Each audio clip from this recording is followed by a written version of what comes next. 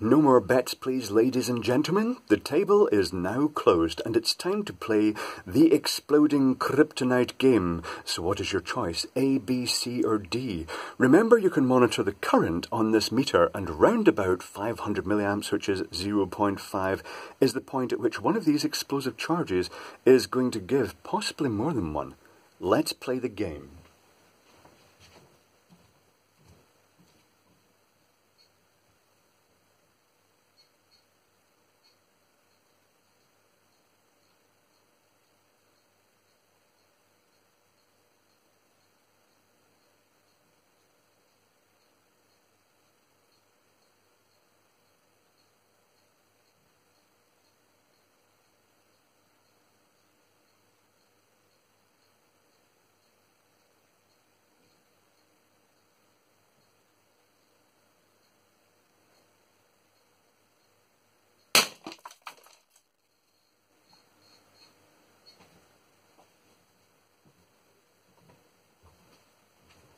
Yes, kind of glad I wasn't around that then. If you selected B, you're the winner. Let's uh let's see when the other ones go.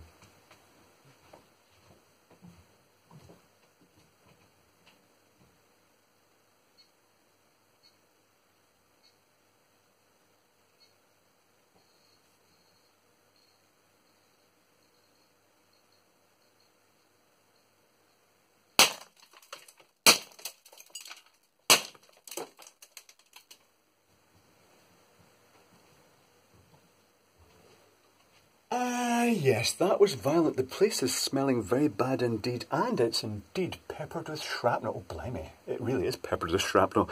That was quite good. So, um, if you're a winner, congratulations. If you're not a winner this time, then better luck next time on the Exploding Kryptonite game on BigClive.com.